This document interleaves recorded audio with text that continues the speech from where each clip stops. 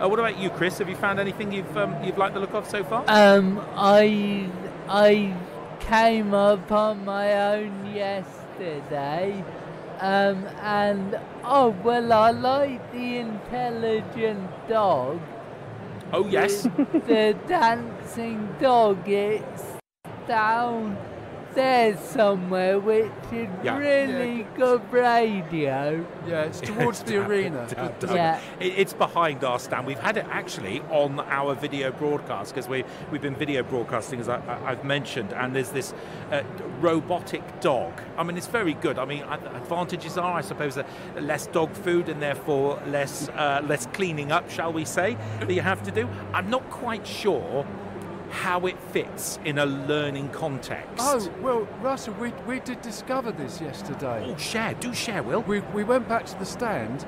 The thing is that the dog is learning all the time. It doesn't always stand on its hind legs unless it likes you. So it's analysing what you're doing and it's got a, a program behind it. Of course. And it will eventually, when it really gets to know you, explain the programming. Okay. I think you have to go to a screen to fully understand this, but I, I know it, it speaks in Python Okay. and it will show you the Python code that determines its every action. And there's not many Can you- that do that. Can you can you bring one of those back and then perhaps they would do the program for us and we can go off and have coffee. Well, JD, we'll, we'll ask them about. We, we'll ask them to visit Exeter.